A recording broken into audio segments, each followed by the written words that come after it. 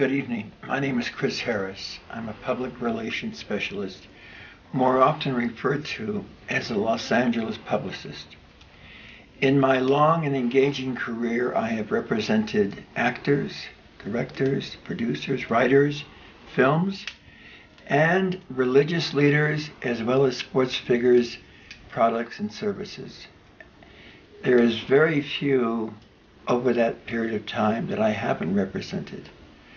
I also represented documentary films. One such film, a documentary, was that based on the Zodiac Killer. I went to the Bay Area in 1970 at the request of a film company to gather data, during which time I was only supposed to interview people who were involved, people who had survived, family members of those victims, but I wasn't to really get engaged. Well, I did. There's a new theory on who the Zodiac is. At the time, LA publicist Chris Harris was making a documentary about the Zodiac and he went to Napa. He was sitting in a diner not far from another customer. Then he turned around and he said, Do you have any idea what it's like to know you have to kill? Well, I didn't say a word. I sat there in terror. News 6's Southern California publicist was in the Bay Area today claiming he once met the infamous Zodiac killer and knows his identity. Del Zodíaco, así se hacía llamar él. El publicista del sur de California, Chris Harris, presentó un libro con la cara de un hombre llamado Van Best, y ahora muerto, y quien el autor cree es el asesino del Zodíaco y su padre biológico. I think he has the proof. This is the man. It's the same person I saw in that diner. Well, I was not to get involved in the detail of the Zodiac killings. As I said, I did. I did because I discovered the police and the sheriff in Napa County had not conducted a thorough investigation. There were a lot of loose ends. One in particular was Darlene Ferrin. She was a victim of the Zodiac. And the police had never really interviewed her mother. I did. I asked her mother a lot of questions, and at the very end of uh, my interview with the mother, she said, The night my daughter was murdered, she left the house and said, Mom, you might read about me in the papers tomorrow.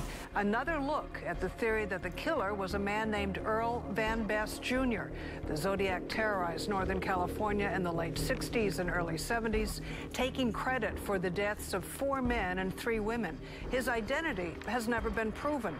Last year, a man wrote a book claiming that his biological father was, in fact, the Zodiac killer.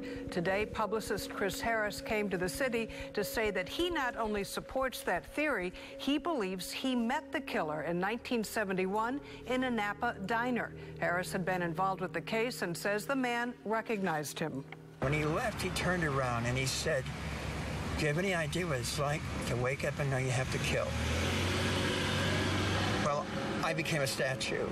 I, I was totally immobile. I couldn't talk. I just stared at this man. When Robert Graysmith wrote the book Zodiac, he mentioned in the book that the police thought I was a Zodiac because I was asking so many questions. I was asking those questions because I determined uh, his profile. That by giving him news coverage and continuing news coverage, you were feeding into what he was doing. Chris Harris claims he met the Zodiac in a Napa coffee shop in March of 1970. That's while the search was still active for the man who claimed to have murdered 37.